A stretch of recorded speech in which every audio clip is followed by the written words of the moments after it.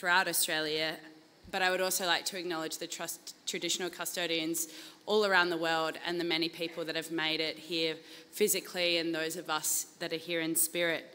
I'd like to recognise their enduring connection to land, sea, and waters, to their country, to dreamtime, to spirituality, and we'd like to pay respects to the elders past and present and to say that sovereignty was never ceded.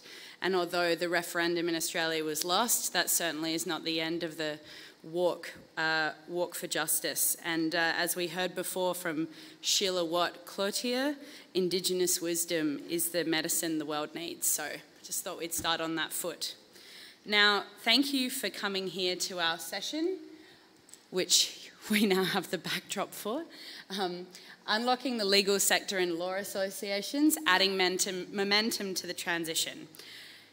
Here today, we have a number of wonderful uh, lawyers and people in the legal and information space, and um, we're really here to add value and some practical bolt-ons that you can take away from this COP, um, and certainly not leave things to the next COP, but take it with you for the year ahead. So, um, to my left, we have Dr. Fabiano de Andrade Correa. He is the co-chair of the IUCN World Commission on Environmental Law's Climate Change Law Specialist Group and is a qualified lawyer from Brazil. Uh, to his left, we have Olivia Tatoletti. She's a senior lawyer at Legal Response International, which is an NGO that provides free legal support to developing countries about the international climate change regime and its implementation at a domestic level. And I should say, I met Olivia uh, this year in Bonn. She was in the cafeteria with a stack of documents about this big, um, issuing advice or providing free legal advice to I don't even know how many delegates, um, and she was doing it at that point solo, so absolute shout out. Um, to my right is Tejas Rao, PhD student um, and research assistant at the Bennett Institute for Public Policy, uh, the C-EENRG researcher at the Develop, Department of Land Economy at the University of Cambridge, and he is a manager at the Centre for International Sustainable Development Law. Um, to his right, we have Achinthi Vithanage. She is the Associate Director of Environmental Law Programs and Adjunct Law Professor at Pace University and co-chair of the American Bar Association's section on Environment, Energy and Resources, International Environment and Resources Law Committee. Now, to her right, we have uh, a, a guest um, who is not originally on this panel, but who is going to give us some amazing insights into a fantastic um, initiative called Net Zero Tracker. Uh, her name is Camilla Hyslop uh, from Oxford, and you might wonder putting Oxford and Cambridge on the same panel. Didn't think about it at the time, but teamwork makes the dream work. So without further ado, I might just ask Camilla to give us some information about Net Zero Tracker and how it might assist lawyers, and then we'll go into the panel proper. Thank you. Thanks, Laura. Um, so much to my parents' dismay, but my great relief, I've recently recovered from being a corporate lawyer, and now I'm the co-data lead at the Net Zero Tracker. And at the Tracker, we're asking two questions. The first is, uh, who has a net zero target, and if they have one, how robust is that target? And we're asking this of countries, regions, cities, and the biggest publicly listed companies in the world. And um, we have about 4,000 entities that we track across about 18 metrics. So you can imagine that's quite a lot of data. And what we find in that data is absolutely what you would expect. We're making progress, but there's still a, a lot of hard work to go. So maybe to illustrate that, in December 2020, 7% of global emissions were covered by a net zero target that was either in policy or in law. By June of this year, it's now 75% of national uh, of greenhouse gas emissions covered by uh, a national target in policy or in law. At a corporate level, we've just gone over half of the Forbes 2000 um, having a net zero target of some description. That's really amazing and really illustrates how we've seen net zero grow across the global economy. However, there's still a lot of work to be done. So at a national level, we're still seeing a lot of um, company, uh, countries not really being clear as to how exactly they intend to get to net zero. So we saw this in the emissions gap report. They're also not clear about how they intend to use carbon dioxide removal, for example. And then at a corporate level, we, in June 20, of this year, we uh, released our net zero stock take report, and we assessed how many companies were um, reaching the starting line criteria of the UN Race to Zero. That's the minimum procedural requirement just to join the UN Race to Zero, and only 4% of, countries, I mean, of companies had met that criteria. That's astonishingly low. Um, so I'm hoping that we can continue to build on this transition, and you'll hear more from the rest of the panel. But just to say, if you're a lawyer, I hope you can use the tracker because it's very useful for seeing in jurisdictions what the climate law is, or if you're working on ESG, what companies are doing. I should also point to, um, I'm sorry, this is an Oxford thing, sorry, Cambridge. Um, the Oxford, uh, uh, we have a regulation hub on net zero, and we track regulations on net zero across antitrust and all sorts of things. Very helpful as well. Um, and I'll stop there. Thank you for having me. Thank you. And just quickly, the, the chat GPT function. Exactly. I've seen both banners. Could you quickly give us info on that too? Sure. So we built our own chat uh, GPT, and it essentially pulls on all of our data. So you can type in what does Walmart's net zero target look like, and it will spit it out an answer. It also pulls from the UN expert groups recommendations. Um, and from our reports, so it can give you more of an idea of what it means to have a robust net zero target. Thanks, mate. Super useful for lawyers. Um, saves time, and that is important. Thank you so much, Camilla. Cool. Yeah, yeah. You are released. Thank you. Um, so there you go. Already one or two very practical things you can take away from this session of things you might not have known already. Um, so as we get started, um, it actually might be helpful to scene set. So this is my second COP. Um, at COP26, a number of lawyers went looking for some law sessions and kind of accidentally met each other outside a law session and, and said, wow, how few law sessions are there on the side event list? And they all agreed, yes, there weren't that many, um, despite the amazing work for, that the um, Centre for International Sustainable Development Law and um, Climate Law and Governance Day does every year. So this is separate. But on the official list, there weren't that many. And so they cooked up a plan that next year, those bar associations and other lawyers would see some more events. And I joined IBA last year. We applied for a Blue Zone event in collaboration with the American Bar Association, the Brazilian Bar Association, also known as OAB, and the Law Society of England and Wales, and we were successful in getting our session. And it's the first time that we're aware of that bar associations have done that. But if you know better, please tell me because I want to know the facts. Um, this is our second year, and we're picking up momentum along the way. I can see in the audience some friends from other bar associations that have been on that journey with us, so special shout out to you, you know who you are. Um, but it's not been that long that bar associations themselves have been really engaged in this space. And what we've seen over the last 10 years is that, or a little bit longer, I should say, uh, a number of resolutions being issued in quite a rapid pace from about 2019 to now, although there were some earlier resolutions and um, Canada, their first resolution I think was in 2011, or there might have even been an earlier resolution. Selena and Marie-Claire, you will correct me. Um, but there was a real uptick from about 2019 onwards, and it has culminated in a guidance being issued by the Law Society of England and Wales specifically to its solicitors on the impact of climate change. So that's really the background, and what we're here to hear from the panel about, and this is the first question, it is meant to be interactive, so please lean in if you have comments. Uh, I, I, want you to give your views in a dynamic way. Um, and the first question I actually might go to you first, Olivia. Why is it important for lawyers to be at COPs? LRI has been around for quite a long time. Um, I hope you're glad to see more of us here. And why, why is it necessary? Thanks, Laura. Hi, hi, everyone. Yes, why lawyers should be at COP? I'm a lawyer, so of course I'm going to have a very positive response to that, to that question. The reason why, first, you know, by background, LRI is at COP is acknowledging that there is an incredi incredi incredible imbalance in power amongst delegations from the global north and the global south, where in the global north, typical, typically delegations comprise many individuals, uh, legal advisors, and for um, a good part of the global south, they don't have access to this legal advice, and thus this is where LRI comes in. And so if anything, as a lawyer, you can get involved with LRI if you already have relevant expertise, either volunteering with us or if you want to gain expertise, you know, by volunteering with us and, um, and coming to COPs with us once you have kind of relevant, relevant expertise.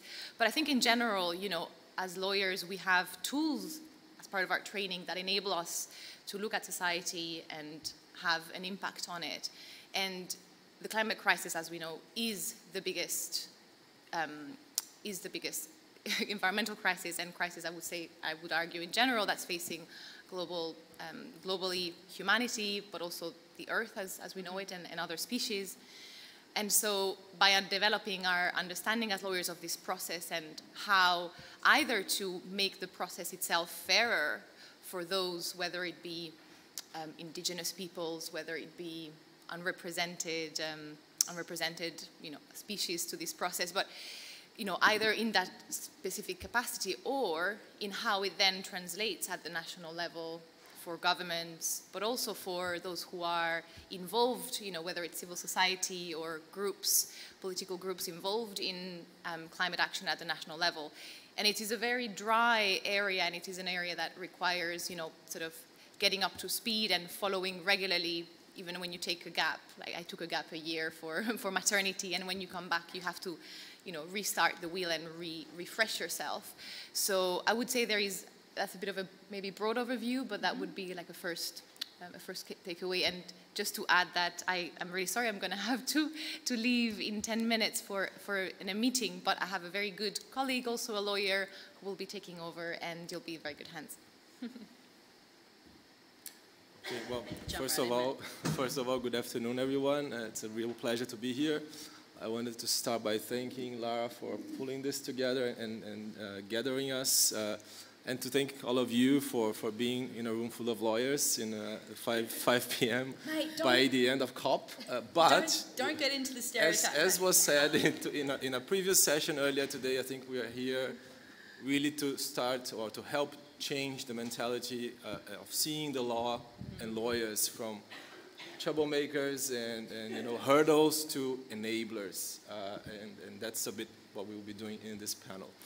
So uh, going back to the question about why lawyers at COP, um, why not? and, and, I think the... Uh, I think it maybe, it, you know, the COPs have grown into something much bigger, but maybe we should think about that they are first and foremost a decision-making body and meeting of an international binding agreement.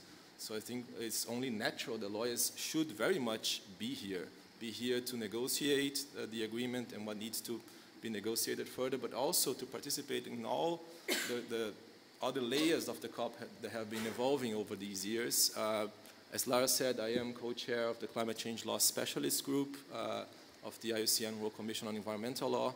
I'm also a member of CISDL and the Climate Law and Governance Initiative and a number of other initiatives that have been working now for really decades, I, I can say, uh, not only in the specific negotiation aspects of the agreement, but also on generating knowledge and understanding and advice on all the legal aspects that need to be in place so that uh, after negotiated, uh, the agreements and the decisions can be implemented and translated into national action.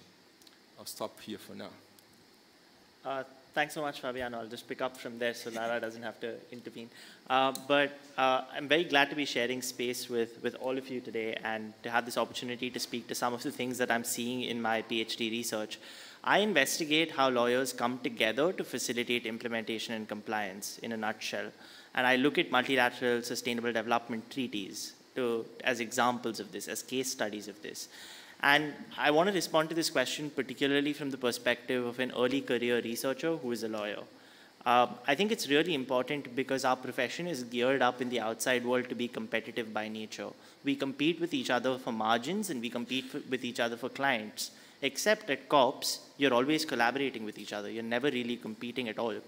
And I know we'll talk, talk about this uh, a little further, but um, my initial impression for why it's important for lawyers to be at COPs is because of the fact that it creates space to trade values, to create conversation about values, to facilitate climate competent lawyering, as we've spoken about previously, but also to create networks of support and communities of practice within, within ourselves, to talk to each other rather than past each other, because it's far easier to talk past each other on the outside world, but over here you're forced almost in a room with each other to talk to each other.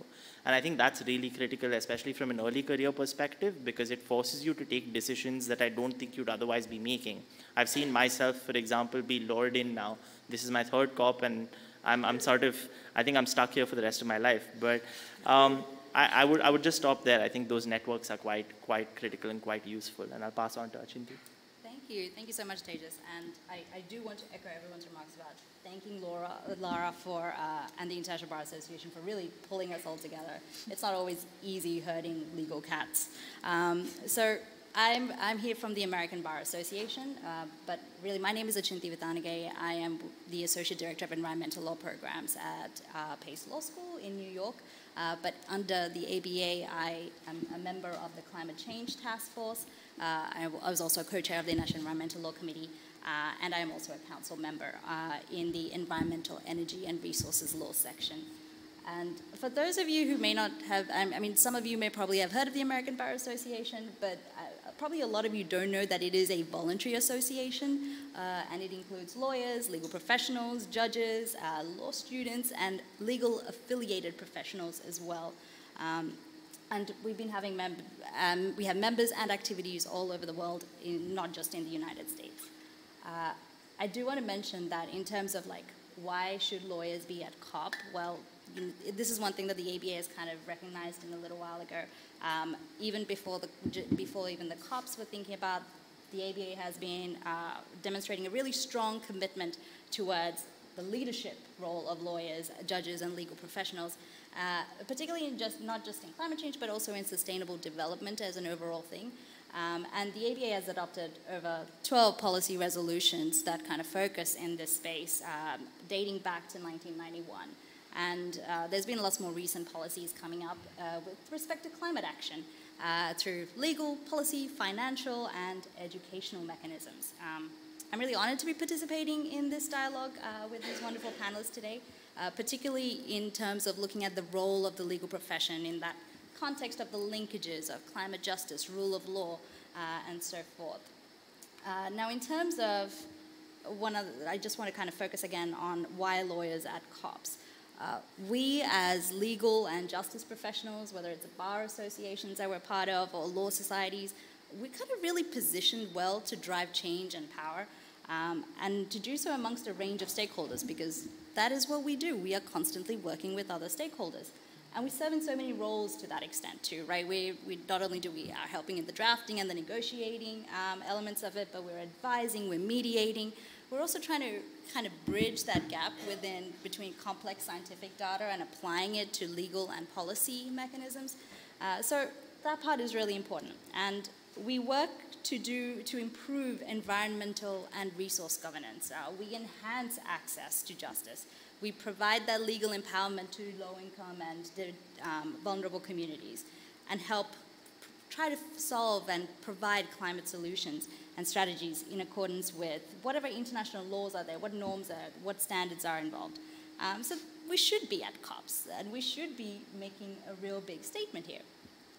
Uh, I think one thing I am proud to say is that ABA delegates have participated in these COPs for a while. We've been at COP 26 and 27 and now at 28 here.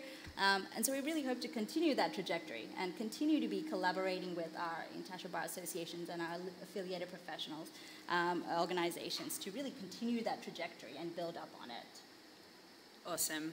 Thank you. And yeah, absolutely echo what you're saying. And um, I think similar to Tejas, like will be here forever because I just don't think I could live with myself if we weren't. Um, that's not to say that you know individually we all need the mic, but we all are trained in a certain way with a certain skill set, and that's what's going to drive things. Because you know the optimistic side of me says law is a living, evolving thing that helps enable every single thing in the world to happen. And I look at NDCs, and my friend who's a partner at DLA Piper uh, Dr. Sharon Fitzgerald's her. She said, NDCs are like shopping lists for lawyers. There is a matter in every single dot point. There are opportunities endlessly for legal work and clever lawyering and sparky people to jump in, roll their sleeves up, and do their best to help. And so that's where I would say, you know, absolutely stepping away from the stereotype of law. I would love to see a world where in the future lawyers are looked at where people run towards us and not are frightened of us because we have some of the key solutions. And unfortunately, or fortunately, depending on where you sit, and I will get you to say fortunately by the end of this, it is the fact that there is a lawyer behind every major decision. You can't draft major financial agreements without lawyers. You can't get money out of a trust without lawyers. You can't build major projects and greenfield renewable structures without lawyers. You can't amend uh, town planning regulations to enable investment without lawyers. I mean, I would go on, but I'm actually I'm not going to because I was I was speaking on the fly there. But you get my point. We're needed everywhere, and that's where the idea of climate competent lawyering comes in. Because obviously, with everyone with the Blue Zone badge, we are here in the room. To the people listening online, thank you. Um, but it's very difficult to get these Blue Zone badges. And as someone unfamiliar with the UNFCCC process until relatively recently, it was quite a scarring experience to try and get this badge. Um, and so I personally see bar associations as a necessary bridge between those within the COP bubbles and the UNFCCC process and all of the domestic lawyers on the ground that are there to do the work and to advise their clients.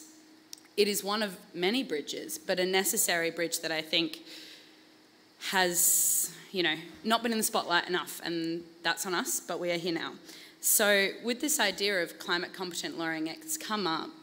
Um, I'd be interested to see what you all think it means in practice, taking into consideration the evolvement from climate conscious lawyering that we've been talking about to climate competent lawyering. And just on that, the IBA in 2020 issued a climate crisis statement uh, issued by our president of the day, which called upon bar associations and law organisations to take a stance on climate in the sense of what your professional obligations require you to do based on the best available science. Very much based in fact and not of opinion. What does the IPCC require us to do as a profession, taking into consideration these evolving risks? And that was then used by a number of bar associations who were having trouble taking movement on this space. So um, if anyone wants to jump in. Maybe, maybe I can say something so um, before I leave.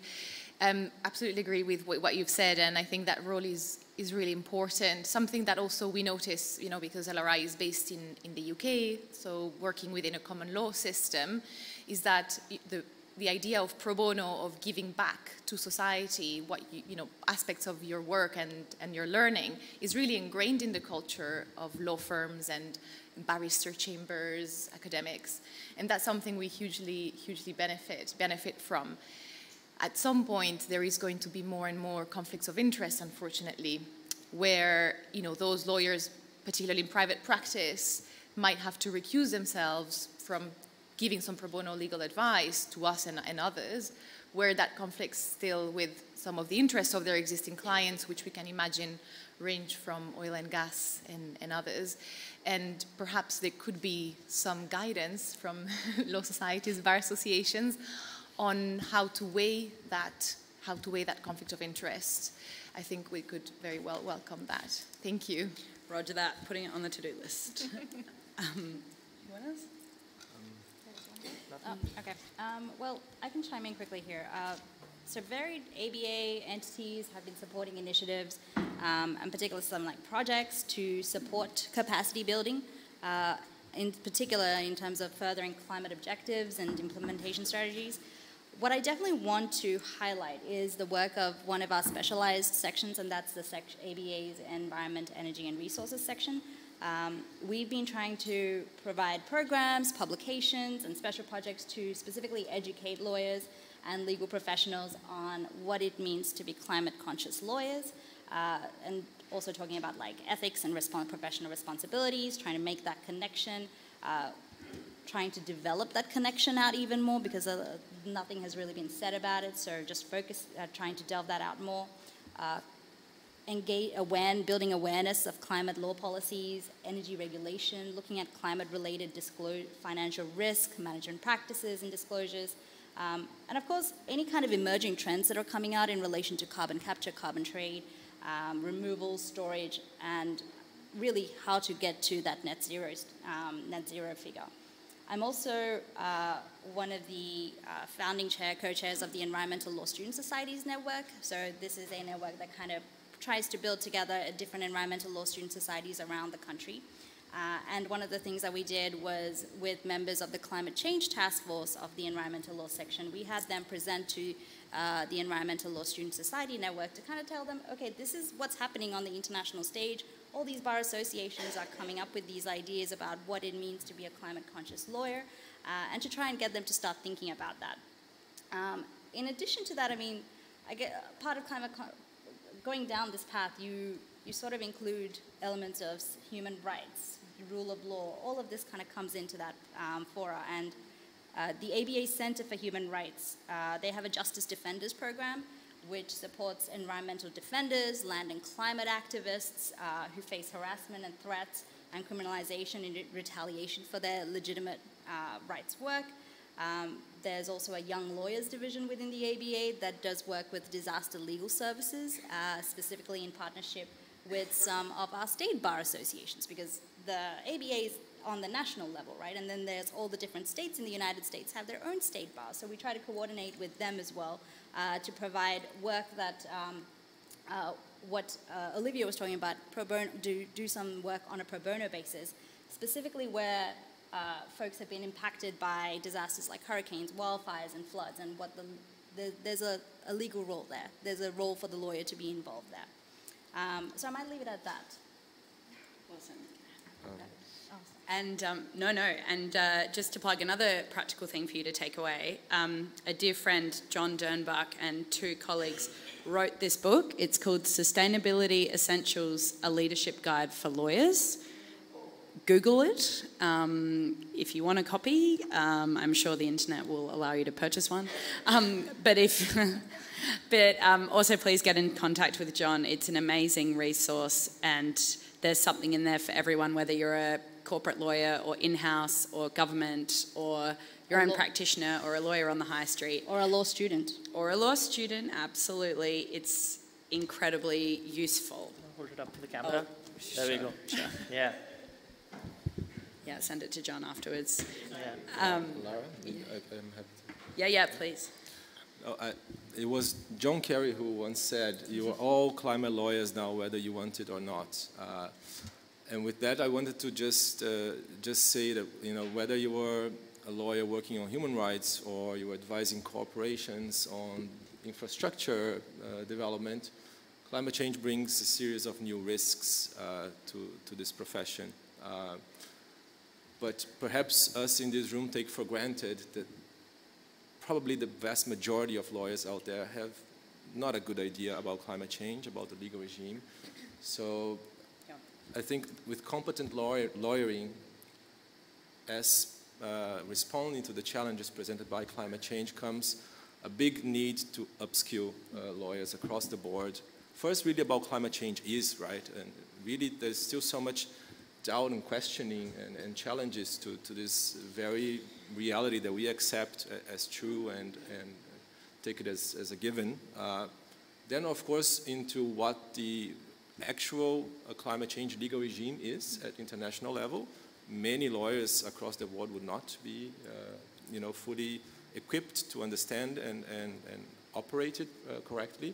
And then, on, last but not least, of course, on how climate change affects the various areas of, of, uh, of legal, legal issues. But you know, even going beyond, of course, I'm very happy actually that Lara is bringing us together beyond the uh, strict remit of bar associations. I myself haven't been a practicing lawyer for many years. Uh, we have academic researchers here as well.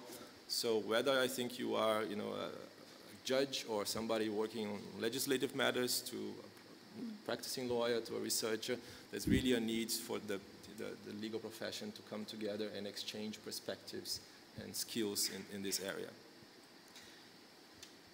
Hi, uh, just to introduce myself, sorry. Not Olivia. Uh, my name is Sarah Hill-Smith. Um, I work at Clyde & Co and I'm volunteering with, with LRI at COP, COP28. I'm just coming in on the education piece. Um, what we've witnessed or what I've witnessed at my firm and I'm sure lots of other lawyers have witnessed at their firms is that often the, the upskilling and the training on climate change related matters is actually coming from the more junior lawyers mm -hmm. who are having to upskill and train their seniors and that's a bit of an inverse of the traditional relationship that you have in law firms. I mean, sometimes it's quite daunting, but it's a very, very necessary uh, conversation that needs to happen. Um, and addressing that and to recognize that and to, to facilitate that, um, I'm part of, I'm a co-chair of, this, of the um, stewardship committee of a new initiative called Legal Voices for the Future. Um, it's a, a voluntary initiative that brings together young lawyers and also young at heart lawyers. Um, and we meet once a month online and uh, in person in London. And we discuss and learn together about climate change related topics and how it intersects with the law. Um, so we have a presentation and then a, a Q&A with someone who works in the field, and then we have a creative content session. Um, and it's a really brilliant way uh, to upskill uh, lawyers, and it's a great way to meet like, like-minded people. Um, so if, you, if you're interested in hearing more about it, please do grab me afterwards, um, and I, I'll be happy to talk more about it. Amazing. Thank you so much. That was such a nimble, swift. I didn't even see it. Um, you're exactly right about that. At my law firm in Australia, I was giving our general counsel, as only a few years qualified, um, I was giving general counsel um, the CPD session and delivering it on climate litigation, um, and I was the only non-partner to be doing that. Um, I think that was also just reflective of um, my enthusiasm, it's a word that has followed me for many a time. But you've got to dive right in because if you're there um, and you know, then they want to hear from you. And actually, my experience with partners is that they're very keen. Mm. Um, when uh, certain key decisions came down, I had a partner run into my office and go, What do you think the client wants to know about that? And I was like, Well, here's what I know about it. What do you think? And there was a real learning and exchange of their 30 plus years of commercial experience with my knowledge of the, the case itself and, and how it fit internationally. And so, you know, for younger lawyers, um, there's such power. But I also acknowledge that in saying that, we need stronger senior leadership because there has to be a tone at the top. Um, I have seen, I think, seven panels so far at COP where we had a lot of older people talking, and as they should, they're usually quite wise, talking about what they thought the youth wanted. Um, and I just felt like screaming, oh my God, we're here. You know, just ask. It will save you from guessing, you know? Um, and so I'm actually delighted to see this panel, not on purpose, um, is fantastic. Um, so with that, um, collaboration amongst various stakeholders, as we were talking about, is crucial for effective governance across the board, good governance structures, which helps enable the just transition and, and live it live it and breathe it, how can academia, legal practitioners, international organisations, and everything in between work together more seamlessly in between COPs um, to further this, to bring each out, bring out the best in each other and bring out solutions? Because the power of the example is so strong in, in setting pathways and giving some form of security to us. So, yeah. Yeah, I'm happy to speak to that. So, um, I, I, think the first thing to acknowledge is that we all bring with us a specific set of skills into every conversation and a specific set of lived experience into every single conversation that we're having, including this, the diversity on this panel, for example. And one of the things that we see that gets ignored frequently is this idea of an epistemic trading zone. The idea that when you're having a conversation, your lived experience and your expertise is something that you're continuously passing on to the person that you're speaking with. This is something that continuously takes place at COPs. Whenever lawyers speak to each other, when we're sharing this panel, for example, we're all talking about things that we've seen or we've heard or we've encountered over the course of the COP that contributes to the overall knowledge sharing goal that we may have. But when we, when we look at collaboration specifically across these different stakeholders, I think it's really important to acknowledge that what happens when these epistemic trading zones get created or when we actually speak to each other as lawyers is that we allow for the formation of legal vernacular much faster than it would have otherwise taken place. We allow legal vernacular to move from one context into another context more seamlessly than it would have otherwise taken place. I'll give you a quick example of this, and I think that um, the easiest one for me is to pinpoint to one from my current research, which is implementation or the word compliance. Historically, these, have, these phrases have been used interchangeably, but now it means very different things. But the implementation piece is one that is moved across the environmental, the multilateral environmental agreements, using the same text across the different agreements, and also across domestic contexts in more than four continents already, um, using the same piece of text within domestic legislation and within the NDCs as well.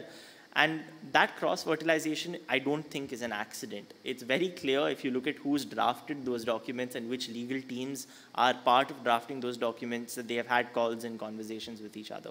There's a paper trail that also evidences this. So I'm not speaking hypothetically and conjecturing some, some story.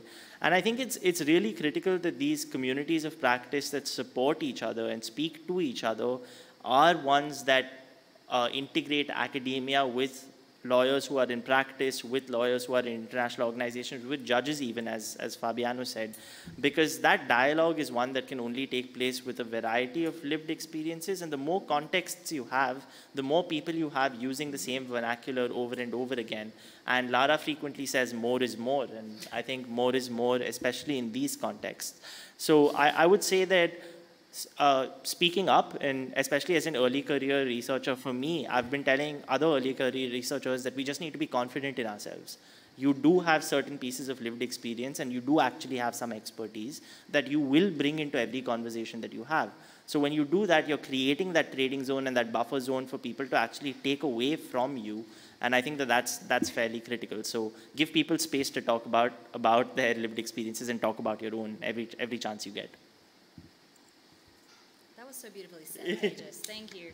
Um, I, I, I, think I'm going to pick up on the, the diversity point that you were making.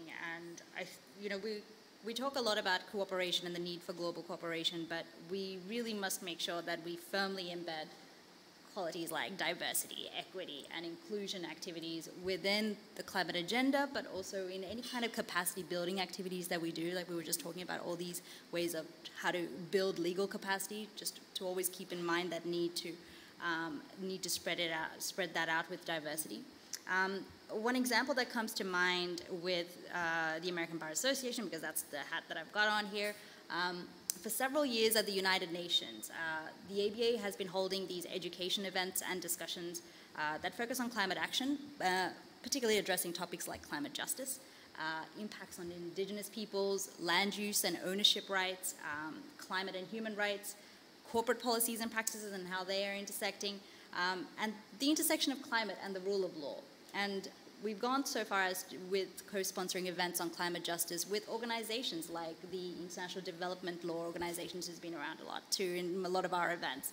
Um, so I think it's really important that we continue to build on these efforts, to build a global community um, on the legal and justice sectors focused on mutual support and resilience, at least between ourselves, but also those organizations that contribute to diversity and equity. Um, so back with my LRI hat on. Capacity building is at the core of what Legal Response International does. So we obviously build capacity and provide support during international climate negotiations like COP. We're also at the meetings of the subsidiary bodies in Bonn, which takes place between May and June. But in between negotiations, it's not all uh, holidays for the LRI people. Um, they work really hard to build capacity. So that's training, uh, training delegates on, on you know, how to better represent their national interests during climate negotiations. Um, for people who've never been to a COP before, it's briefing them on what goes on at these COPs because to the outside world, they're quite obtuse and they're quite hard to understand. Um, so it's, it's providing crucial training in that respect. It's also understanding and working with different countries on what their national interests are.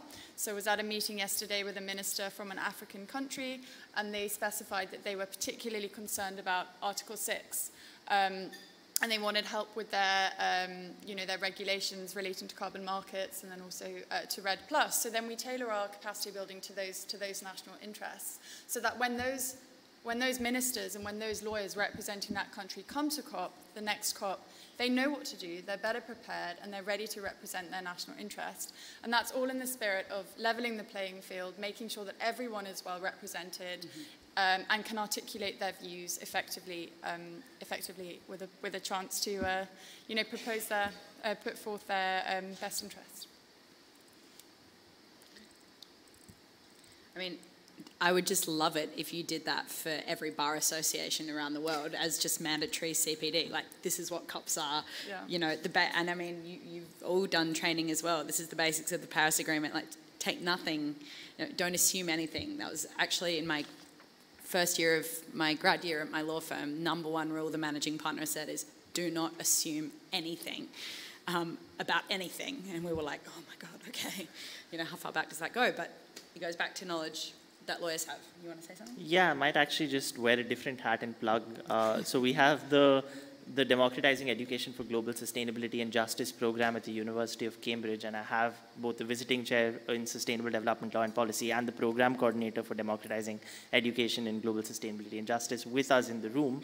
Um, and we celebrated just earlier with a lot of our learners right behind, right on this stage. And we've got four courses. We've got Key Essentials on the Paris Agreement, Sustainable Development and the Law as one of the courses that we offer.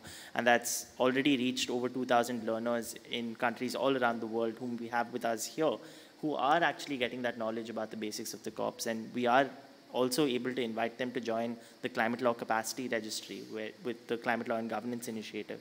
Um, and we would just encourage everyone to become a part of these communities and these networks and access this next run of courses if you've not already, uh, which should be advertised fairly soon and then running in the spring and the fall. So. I've done them and they're really good.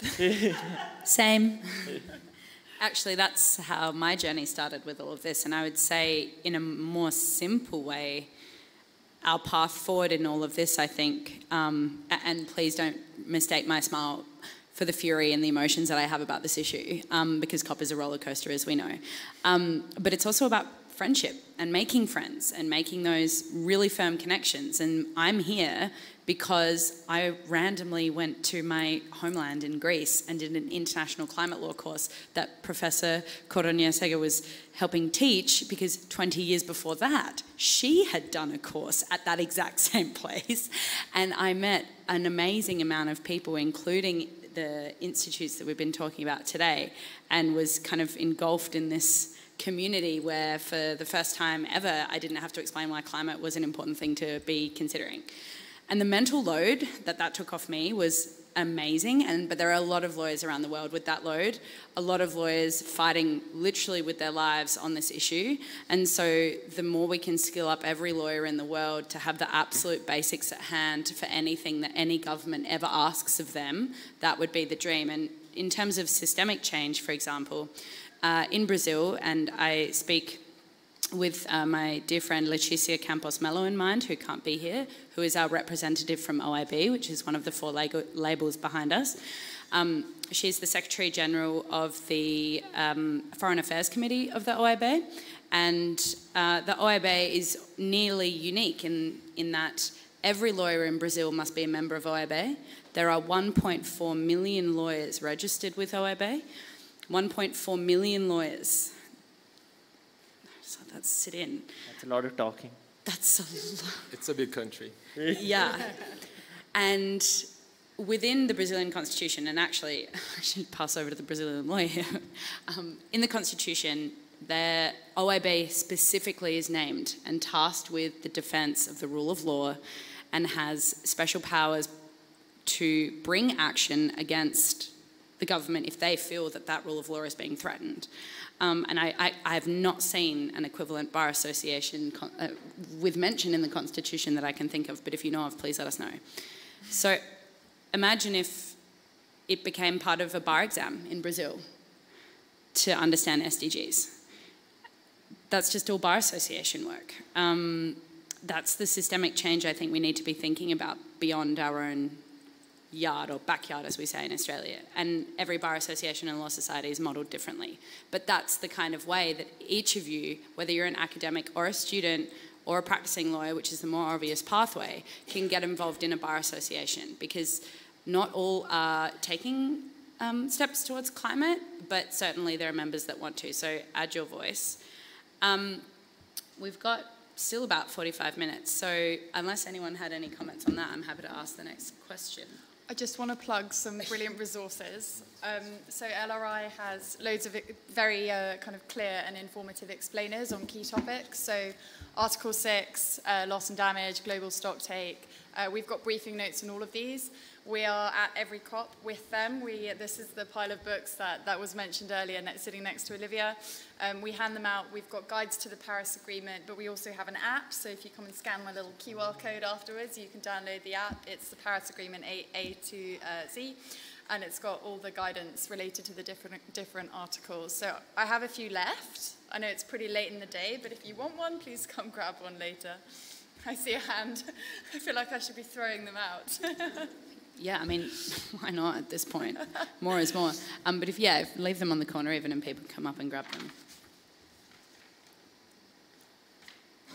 I should add that if I take my hat off for a second as an ABA, but uh, as a as a professor, I've actually got some students who are working with LRI. Uh, they're my advanced international environmental law students, and they're working with LRI this semester, and they've found these uh, fact sheets very helpful in terms okay. of when they're as a starting point as well. So. Thank you. Amazing. Um, this is a question for Fabiano, but I mean, we can all weigh in.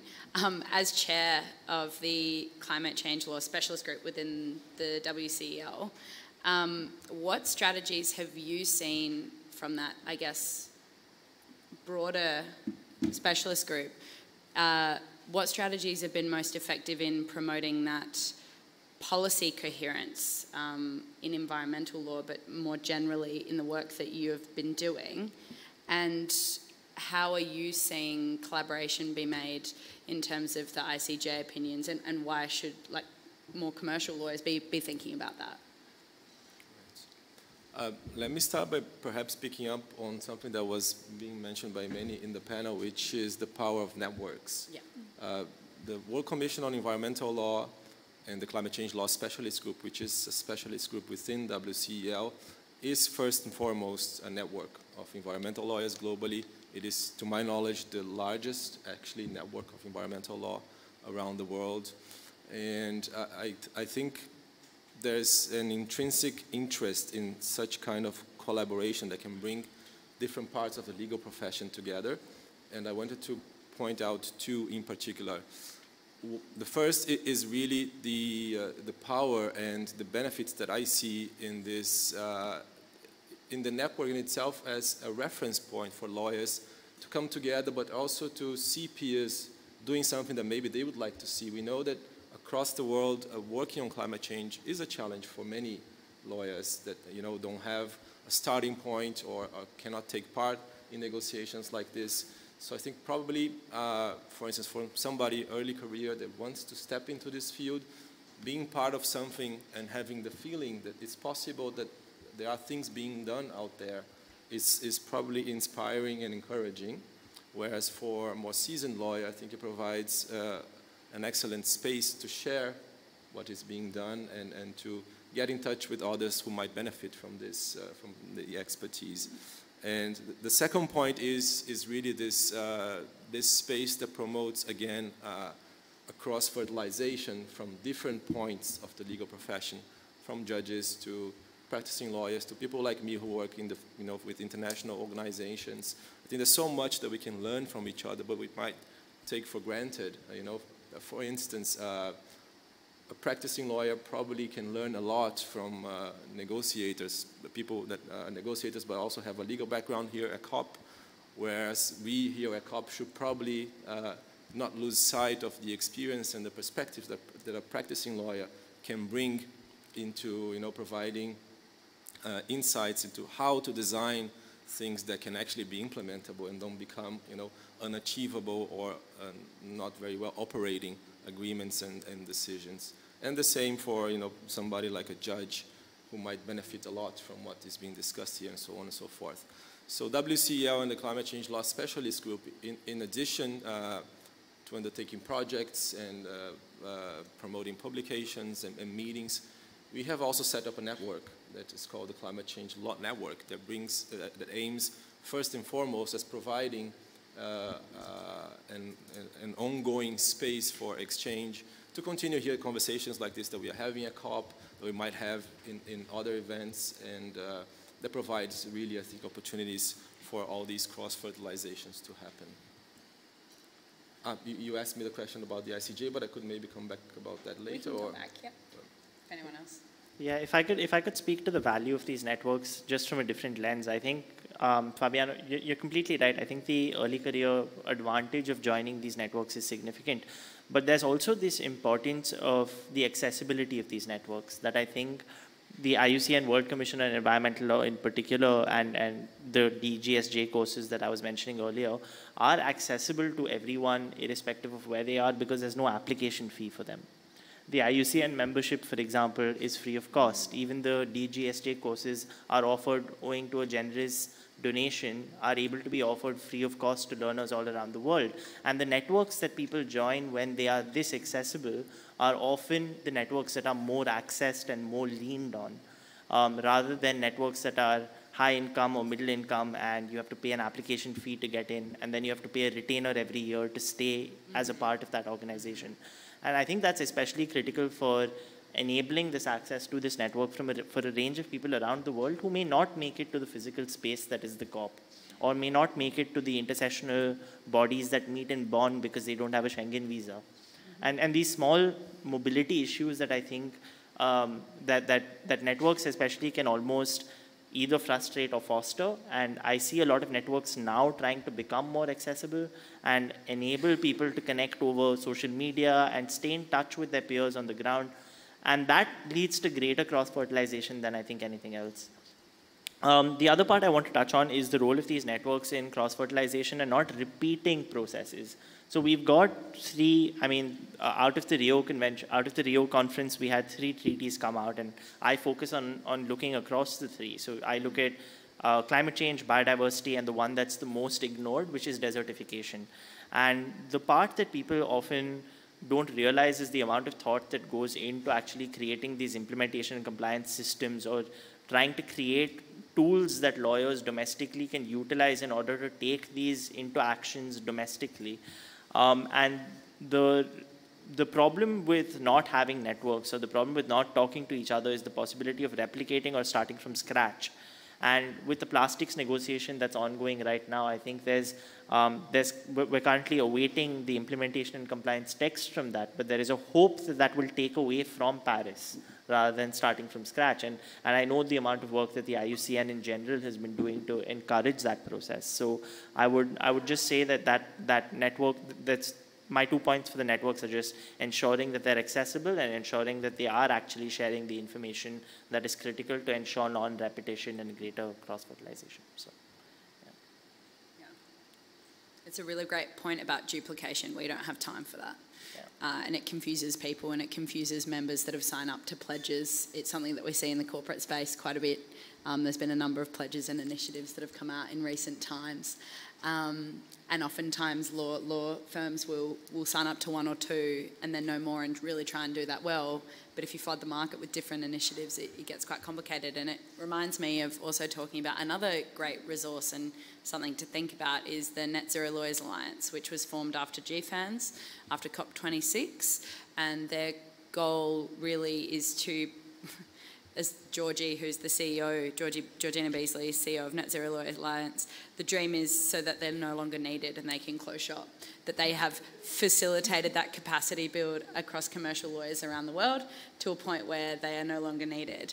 Uh, and I think that's actually quite a wonderful thing um, to inbuild and end stop. But, um, and they have used and utilised, and shout out to Cambridge, the Hughes Hall Climate Law Atlas, which is a hugely hugely useful tool that I would urge all of you to look at, which is mapping out seemingly every conceivable area of law and understanding where climate impacts that and where the triple planetary crisis impacts that area of law. And as someone who started their career in a law firm, hugely useful to me to say, our partners over here have a look at this and digest. Our partners over here have a look and digest. Partners over here have a look and digest. Client, have a look and digest. And this is um, yeah, shout out to the team that built that up um, because it's also what NZLA used to educate their members. So another initiative to take stock of. Um, does anyone have any comments about that? ICJs, ICJ? Can we hear a bit about that? So, sorry, the question was the three advisory opinions that are coming down will, we hope, significantly clarify the scope of obligations that states have. Um, how do we what would be the anchor point to make that relevant for commercial lawyers who are brokering huge deals that have huge impact on the climate? How do we bridge that gap? What are we seeing? I'm happy to start throwing some thoughts. Uh, and, and, just perhaps even taking a step back, I think this, the advisory opinion of the ICJ is such a great example of collaboration across the board, right? It, we heard about it this morning for those who might have been connected to this room, how it started really with a youth group going uh, around with an idea and finding a means to, to deliver it all the way to the highest court of the world. Mm -hmm. And uh, from, from my perspective, I think that the real value of, of the ICJ advisory opinion, as we know that it's in itself, not a, it doesn't legally provide a legally binding uh, judgment on, on any country, but I think it will provide such a fundamental uh, step forward in the understanding across the board about what the Paris Agreement really is and what, uh, what can be expected uh, moving forward on this. This, you know, it's not easy to understand the Paris Agreement. It's quite sui generis if you think about it in the way that it's drafted, in the implementation, through the whole NDC process. Is it legally binding? Is it not?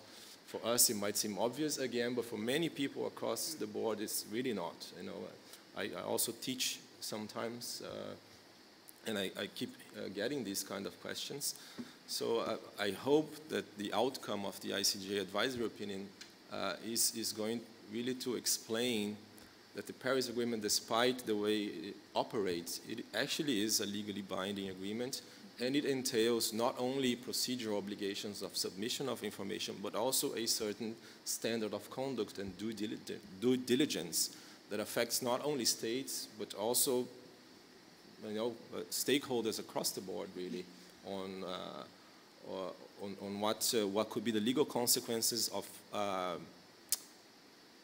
of not changing their game really to help in the collective effort that needs to take place in, in you know, this, this huge task of uh, moving towards a low, uh, low emissions development pathway. And, and for people, for instance, in, in, in a company they might think that they don't have anything to do with this. Uh, I think it, it, will become more clear, uh, you know, all, all these legal obligations and, and standards that, that, uh, that arise from Paris, really. Okay. Uh, I just wanted to add uh, just a bit on, on what I think it's going to do for corporate lawyers, especially, and the way I think it's going to impact the legal profession. Uh, but before I do so, uh, we just celebrated the Global Leadership Awards, and two of our laureates are Advocate Professor Margaretha Wewerinke-Singh and Advocate Professor Payam Akhavan, both of whom helped take the voices of those specific youth and the voices of current and future generations all the way up to the world courts. And actually starting from the classroom and taking it forward, I think is something that's ex extremely inspirational. But um, the, I, I think the ICJ advisory opinion and in general, the ITLOS and Inter-American Court, if they complement each other successfully, they will have the collective impact of clarifying states' obligations in a manner that I think is extremely helpful to the legal profession, mm -hmm. which responds and reacts much quicker to judgments, mm -hmm. uh, whether or not we think it's binding or not, uh, we, we um, respond and react as a profession much quicker when there is a decision of a court in any capacity uh, because we take it as a signal that we should behave in a particular way. And more critically, because once those states' obligations get clarified, then there's no real room left for governments of states to escape because the articles on state responsibility will kick in. And you could potentially, you could potentially see floodgates of them being opened up to state responsibility action with other treaties, depending on which treaties get invoked, of course, and the mechanisms under those treaties, which puts this sort of political momentum and pressure upon the states themselves to force corporates and force lawyers to give advice. And, and something that we've heard in a different IBA event is how when a lawyer says something or signifies that there is a climate risk in a particular way, uh, you can't escape from that anymore. And companies can't really say they didn't know about it and clients can't really say that they don't have to do anything about it. So I think when you when you have that clarity coming down from a court, the signaling virtue of that is extremely high, which is why those advisory opinions are going to play, in, in my view at least, such a such an important role for the years to come. So um, collaboration in that respect is probably probably vital and, and yeah. Um, I went to an event uh, where the panel were discussing the impact of the advisory opinions. So there are three advisory opinions. Tejas just mentioned them. There's the ICJ, which is the court under the, uh, the UN's court. There's the International Tribunal for the Law of the Sea. And there's another um, request before the Inter-American Court of Human Rights. Um, and what one of the panelists said in that panel was that the power of these advisory opinions is not, um, you know, it's not Uh, diminished by the fact that they're not legally binding. The power is in their specificity. And if the tribunals and if the courts go into detail about the state's obligations, mm-hmm. then that can then be interpreted by lawyers operating in a domestic context and then used to bring mm -hmm. civil actions either against the state or against corporate actors in that state. And the second point I wanted to make on this is that states have an obligation to, uh, to in, in, up to a certain extent, control the corporate entities operating in their region. Um, if you look at the principle of trans preventing transboundary harm, that enshrines that. You know, states can be found responsible for um, for the operations and the harms caused by entities operating in their in their um, jurisdiction. Um, and I had a third point, but it's escaped me, so, so I'll leave that there for now. No, just thinking about my time when I worked for a judge, I spent a year doing that in Australia. It's, you know, a common pathway after law school. It's such an education tool. What a beautiful thing for a judge to read, a concise judgment taking us all the way up to the point of now for judges that might not necessarily be in this space that much. I, you know, not that that's what it's intended for, but that is perhaps um, you know, a silver lining and, a, and an additional way that th this will be very useful. Um, I'm just conscious of the time, and we have 26 minutes left. So I want to ask all Lara, of you something. Could I just yeah. add something quickly yeah. um, on just this follow-on point? While we're waiting for the ICJ's opinions to come out, we do have tools that we can also rely on to urge lawyers um, to do these things that we've been asking, to advise their clients on, we don't necessarily have to wait for that. While that would be helpful, um, I do want to draw attention to the ABA has this policy on climate change, which you referenced early on in the 2019 resolution. And one of the things that the ABA's resolution does go into is to urge federal, uh, state, local, territorial, and tribal governments and the private sector to recognize their obligation, I'm reading from it, right, to address mm-hmm. climate change and take action to achieve the following goals. And one of those is, for instance, this because this is in US specific, reduce US greenhouse gas emissions uh, to net zero or below as soon as possible. Um, and I think one of the, the most key languages that come in with that resolution, and I just want to mention that here quickly, is that the ABA then goes on to urge lawyers to engage in pro bono activities to aid efforts to reduce greenhouse gas emissions and adapt to climate change, and to advise their clients on the risks and opportunities that climate change provides. So we already have, at least within the United States, and which I would love to see emulated elsewhere, this call to lawyers to do that already. You don't have to necessarily wait for that ICJ opinion while it would be helpful um, to do that. You can start right now. Absolutely, and definitely not saying we should wait. There is no time at all for that. Uh, and you're exactly right. And there are other bars that have that have made a number of resolutions. Only two weeks ago, Scotland, the Law Society of Scotland, issued a resolution um, with respect to climate change. Japan is currently focusing on it after a 2021 resolution. Um, the CCBE, which is the Continental Bars of Europe, have also done that. Um, I'm in talks with the president of the Zambian Law Association to do something similar for the Congress in Africa. It is it is pollinating, um, but every lawyer can help pollinate it faster. Um, so a bit of homework for all of you. Um, with that, one final question, and you've got a minute to respond. I will time you. Um, what would be your one wish? You know, we'll see each other next year, hopefully, in Baku. What would be your one wish from then till now? You go first. and I should say, my previous panel had like three and went way over, but if you can limit it to one, that would be great. Okay, I have one minute, but I have two. Two. it's one Christmas. Is, one is too hard. There's so much. but I think my first would be to see, uh, you know, either stronger language all the way up to a tr treaty, as was presented here, but language on uh, fossil fuel phase out. I think this is probably the fundamental issue that we are dealing with right now, and it's what needs to be done.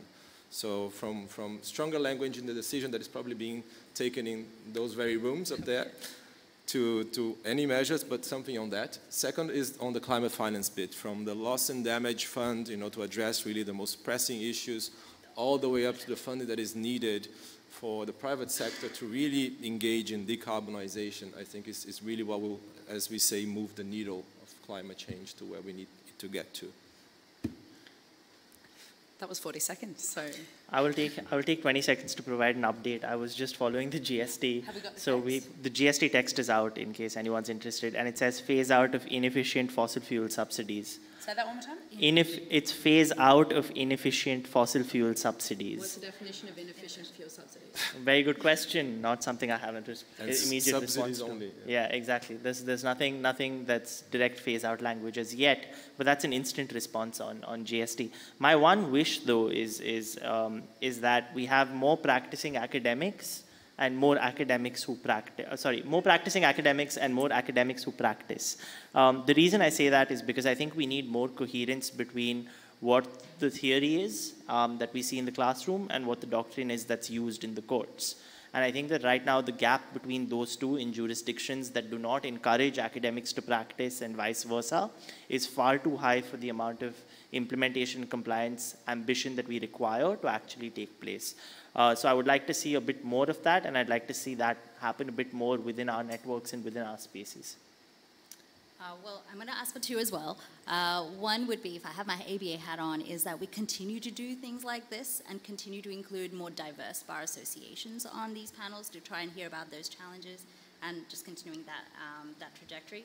But if I take that ABA hat off for a quick second and talk about it from the context of legal academia, but also as a teacher and a professor, um, one thing that I would definitely like to see is, and we've sort of been, this trend has been starting already, is with having professors who teach core courses that you, you learn in law school contracts, torts, property, constitutional law, administrative law also now delving into environmental law topics. And I think that would be amazing to see. And we're seeing it in, in Australia, New Zealand. Um, yeah. At my law school at Pace, we have a lot of environmental law faculty that are immersed and teaching mm-hmm. those core courses as well. And they bring in all that environmental law knowledge and sustainability mindsets and climate conscious attitudes into their teaching.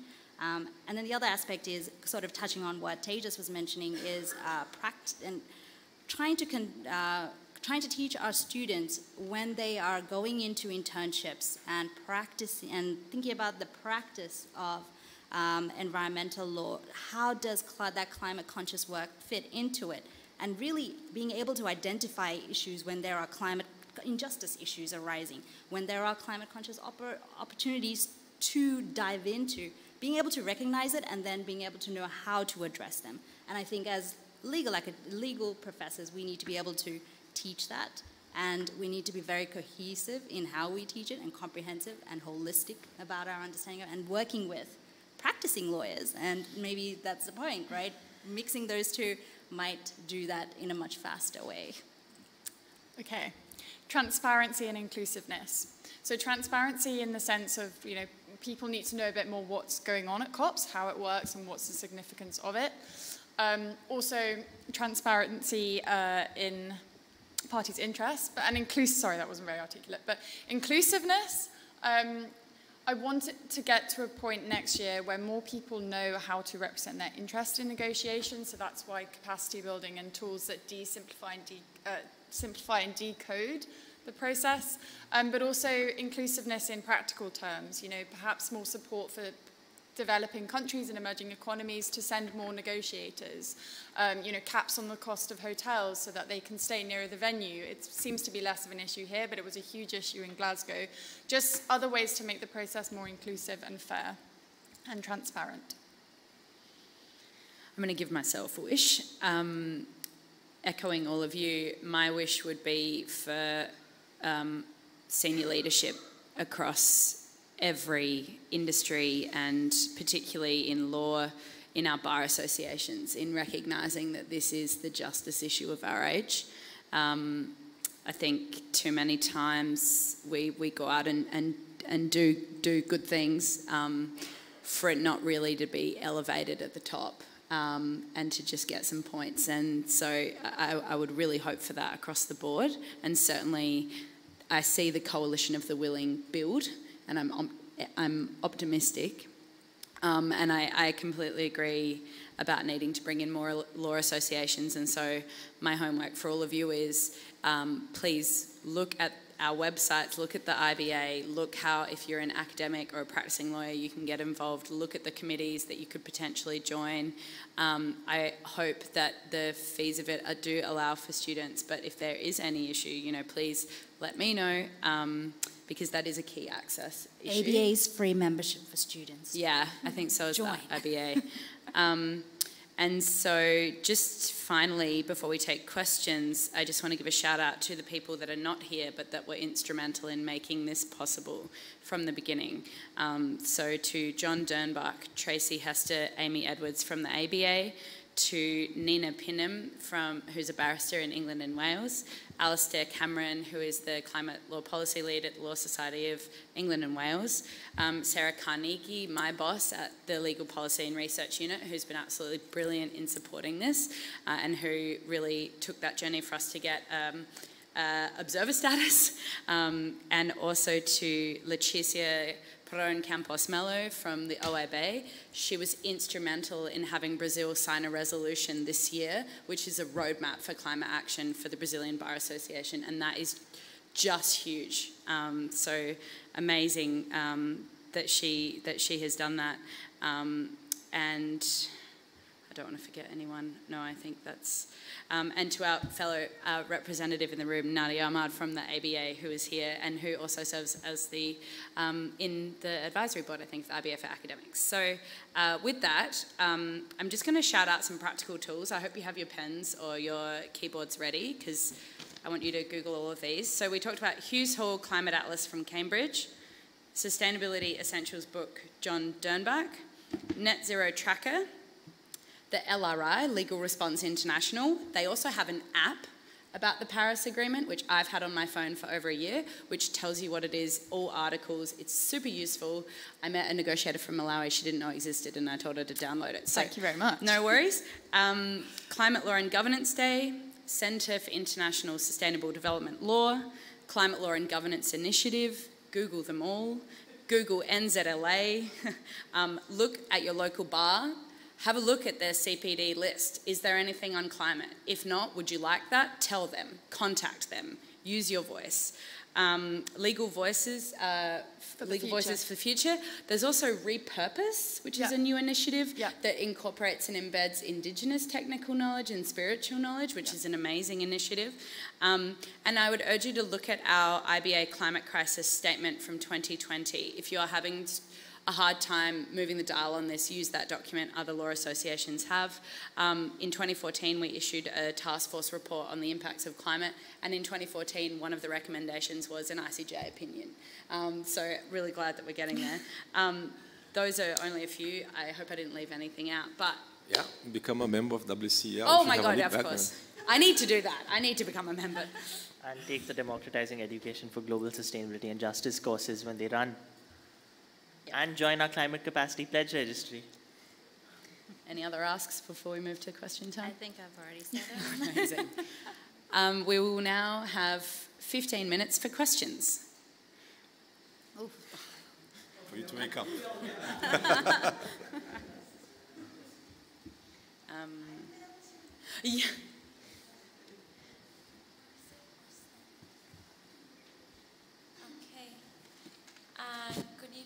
I'm Lisa Banda from Malawi. I'm working with the Civil Society Network on Climate Change. My question is really related to coordination between uh, advocates for climate action, climate justice, and people in the judiciary system. Uh, I say this because in our country we had, uh, the government had put up the ban on use of thin plastics, but up to now, a company that is producing this uh, got an injunction, and I would say maybe probably one year later, this this injunction has not been lifted. How do we make sure that the judiciary also understand the importance of safeguarding the environment so that we all work together towards a common goal. And I, I say this specifically for me and the civil society advocating for climate change action. Thank you. Thank you so much for your question. Team, is anyone that wants to take it first? So, how to match advocates for action, how to ensure that the more progressive laws being built are being actioned and that the judiciary is being educated in, in understanding why those laws are really important um, in order to better protect our environment and climate. I guess I can start really quickly. Uh, one thing that the ABA, for instance, does is there is a global program section within the ABA, and this includes a rule of law initiative, and part of that involves uh, engaging with countries worldwide, but also in particular working with judges as well and training them, um, training lawyers, judges, and government officials on that. So hopefully those kinds of, building on those kinds of um, uh, projects and trying to maybe bring it to uh, where you are, where it is needed. Um, so definitely con connecting there might be an option for. I think Fabiano can speak to this a bit more, but the IUCN World Commission on Environmental Law and the IUCN Academy on Environmental Law um, led to the birth of the Global Judicial Institute on Environment, which is run by Justice Antonio Herman Benjamin from Brazil as well. And they're really working to train judges um, specifically on environmental developments and tracking that space, I think, and using these networks like we've, we've all discussed different fora that are available. I think most of the fora that are mentioned across or represented across this, this panel are fora where advocates who work on climate justice issues on the ground, activists and judges are all a part of. And the more that they get to interact with each other across these spaces, the more I think that we achieve the ambitions that you're, you're aiming for. Yeah, no, I think uh, perhaps a first step is, is to uh, uh, try to understand if there is a lack of capacity and, and there's so many you know, available means of support that you can, that, that you can benefit from uh, to be able to adequately uh, bring your claims and, and, make them heard. We have, for instance, here Yasmin, who works with adv advocates for international development, you know, LRI, uh, so depending exactly on which specific challenges you're facing, I think there is already a good, uh, a good a number of sources out there to provide that kind of support, be it information sharing or specific capacity building or even uh, funding and, and representation. Uh, more questions? I don't know what the mics are. Oh, sorry, Maeve. Thanks, mate. Um, good evening, everyone. My name is uh, Inna Ali, and I'm here um, wearing three hats. um, I'm here in my personal capacity as a climate change um, advocate. I am a, a, practitioner, I'm a corporate lawyer, energy and natural resources, uh, one of the biggest law firms in Nigeria. And I am also part of the Nigerian Bar Association, um, external relations of the Women's Forum. So I have two questions, right? Um, as a lot of you are aware, Nigeria is a gas-rich country, right? We have um, a lot of transactions that deal with, um, you know, um, oil and gas and a lot of um, upcoming renewable energy as well. Now, what do law firms need to do to find the delicate balance in terms of um, advisory role and advocating for, you know, net zero. Nigeria has a 2060 net zero target. Now, so an, another thing is there's uh, no capacity or very minimal capacity in terms of training lawyers. So where I'm coming from, I'm, I think, literally the only one among a group of lawyers from Nigeria. I haven't spotted anyone or any law firm um, represented in, in COP at all. I'm, they might be here, but I haven't come across mm -hmm. them. Now, how do we build capacity in terms of, um, you know, adding our voices? Because Nigeria is in the global south. There's a, desertification is a problem. We have flooding. We have so many issues coming up. We have um, the issues of host community, indigenous people rights, and uh, a lot of um, places are affected by spillage and all that. Mm -hmm, now, mm -hmm. so putting all those huge issues into play. What can we do as lawyers, you know, in Nigeria um, to build capacity, to get the Nigerian Bar Association to come up with a resolution and to key in into just, uh, you know, moving things forward. Yeah. Thank you. Uh, great questions, and I actually think there's someone right behind you who was uh, that you might want to meet because um, it looked like she was trying to get your attention. Um, just quickly, I'll take this to start. Um, I there are some law firms that have started to build what they call red line policies when they're looking at taking on new clients, what they would consider, particularly with respect to climate. Um, they're not public necessarily, but they do exist, and they helped form the. Um, they, they, they helped contribute to um, the Law Society of England and Wales guidance on the impact of solicitors. I would urge you to read that. Um, there was a lot of different people that put their brains together to make that happen over 100 lawyers, and you can imagine how difficult that is for consensus. Um, so, so read that. And as far as the Nigerian Bar Association is concerned, um, the IBA recently did a gender report of Nigeria with our separate project called 50-50 um, by 2030, trying to understand gender parity in the law. Um, and there was some interesting initiatives that came out of there. But what I can do is connect you to people I'm already talking about in, in the African Congress and in different places. Because I, I, I, you know, if I can just be the dot connector, that would be awesome because the work is getting done. Yeah. Uh, yeah, I, I, wanted to come in in uh, relation to your first question, and with the caveat, as I said, that I'm not, I haven't been a practicing lawyer for a long time, but I think a good entry point that I probably lawyers across the board understand and take into account is the issue of risk, right? Making people understand the risks presented by climate change, both the risks to operations, the, the, the risk to economic losses, but there's another type of risk that also needs to be increasingly understood, which is reputational risk.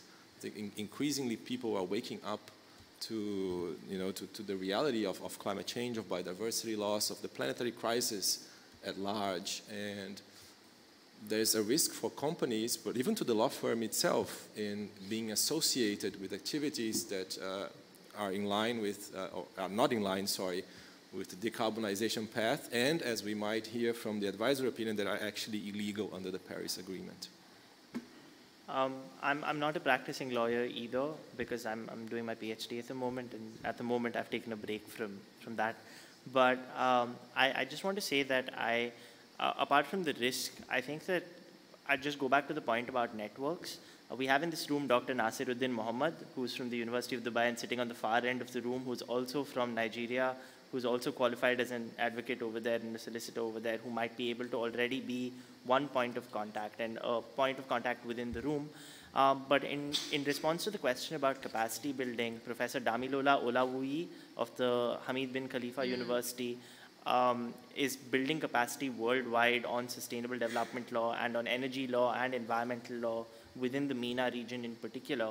And I, I would just urge that when capacity building efforts take place or when we try to look for, um, for ways in which we can scale up capacity and build these networks, we also look for leaders from our own countries who are elsewhere, who may not be within our home countries, but right outside and might be able to advise from the margins because I've seen myself as an Indian lawyer being in the UK being able to offer different advice to Indian clients than Indian lawyers within India would have. And I'm almost more empowered being outside of India as an Indian lawyer because I can act as a consultant and I'm not regulated within that capacity by um, a different set of regulations that might bind me. So I would, I would just urge that creative solution as well, potentially. I will totally echo that and say in terms of within the American Bar Association, we have a large contingent of Nigerian lawyers there as well. And you're, you know, the membership is open. You're, you don't have to be within the US to be able to join, and you can certainly join and take advantage of that membership there as well. Um, just um, thank you very much. Please. Okay, my name is Nena. I'm from Nigeria, and I'm really happy to see my countryman here. So um, I will come from the angle of young lawyers. I mean, someone on the panel made mention of building capacity for um, people from the global south, especially emerging economies and developing countries. How do we encourage young lawyers to participate more in climate negotiations and all that? I mean, it's something we really need to take seriously if we need our voices to actually be heard out there. Thank you. Yeah, you want to go first? Or? Okay. Yeah, uh, I I think that the the first one I would refer young people to is another one of our global our climate law and governance global laureates for this year, global leadership award laureates for this year, which is the the Youth Negotiators Academy and the Climate Youth Negotiators Program, which they run. Uh, which offers training specifically for youth to get involved in these negotiation processes and then helps them connect with their country's delegations so that they're able to represent them effectively. Um, of interest is also a different program that they run that they just launched for the Desertification Convention as well, called the Land Use Negotiators Academy. And, and that's just been launched as well and is another forum to enable um, youth, youth to get more involved within negotiations. But on the, on the broader point of capacity building, I think accessing these training courses, like, we, like we've all mentioned earlier, including um, from the Democratizing Education for Global Sustainability and Justice program at the University of Cambridge, as well as um, accessing the practical tools that Lara mentioned, I think are ways in which we can invite people to join into these networks and into these spaces where more opportunities will present themselves. I'm conscious of time, so. Uh, any other questions? Oh, okay. Oh, wow. Okay, we've got two minutes and 26 seconds. Um, Yes? One, we take them all and then rapid fire response, and then we can continue talking afterwards outside.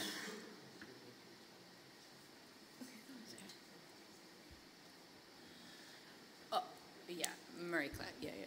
She's earned the right. Well, thank you for an incredibly inspiring and perfect end to the unofficial Law Day here at the COP inside Event Room 8 um, definitely adding momentum to the transition, despite most of us who have now got the cop cold, and in, especially with the lights up there.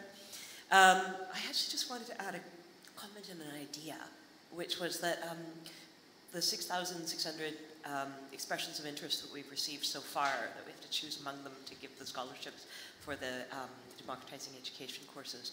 If we added an extra question, are you a member of the bar in your country? And if not, would you like to start a bar committee on? I'm just wondering whether joining up our initiatives that way so that we send people to each other. Yeah. Similarly, um, the registry, if we added one extra question, would you like to join the World Commission on Environmental Law? If so, click here um, it would just make so much more sense and exactly that same collaboration that's yeah. been built here at the COP, learning what each other's up to, ways to help, could just be even scaled up massively. It, it does say adding momentum to the transition, so those are two ideas. I mean, big yes from me. Um, other questions? Yeah. Yep, yep. Thank you. Yes, absolutely. Hi everyone, thank you so much for your insights. It's really interesting. My name is Juliana. I'm one of the 1.4 million uh, lawyers we have in Brazil. Obrigada. Obrigada a você. And uh, I'm here, uh, I, I, really uh, got connected with your questions and so it will be quite uh, similar. I'm wearing two hats here today. I am a carbon market consultant in a think tank an association lawyers called La Clima, which Fabiano is a member as well. And I'm also an associate, a senior associate at the Environmental Law Department uh, in a full service law firm in Brazil. And I don't want to be the devil's lawyer here, but I really like to hear some of your thoughts on something that I've been noticing when wearing my uh, associate, senior associate uh, hat which is sometimes I'm really glad that this is my first COP, by the way, and I'm really glad to see a lot of Brazilian attorneys here for the first time, the second time, and coming from the full uh, service law firms. However, sometimes I notice I, I'm in a place of fear that uh, the vision that the lawyers bring here will, will be more of a business perspective, which is natural for a law firm, as you may know, but sometimes uh, so uh, business oriented mm -hmm. that gives uh, sometimes it puts environmental integrity aside. Mm-hmm. And in this sense, this makes me fear that uh, how could we come to law firms and show them that how important it is to understand the international regime, to understand what Paris Agreement is, to bring it to Brazil and how to apply it and to help bring knowledge to Brazil uh, private sector as lawyers, corporate lawyers, instead of just stimulate speculation, financial speculation on uh, things that should be environmental integrity at base. Thank Yep. you. Um, well, two second answer quickly. Uh, firstly, look at the OAB resolution if you haven't already, and then think about it from a perspective of regulation. Like, if that's something that OAB says we all need to look at, then I would say we as in the global community, but you as a Brazilian lawyer, then it takes away any argument about it being about uh, um, value signalling or virtue signalling. It's just com- climate competency. Like, are you giving appropriate legal advice? It's just as simple as that. No, no, but happy to continue this conversation off, yeah, uh, we've offline, got to perhaps. we've got to uh, exit. Can I just say thank you so much to everyone coming? Let's keep talking outside. Thank you so And much. Law Day for COP. Law Day 2020, COP 29.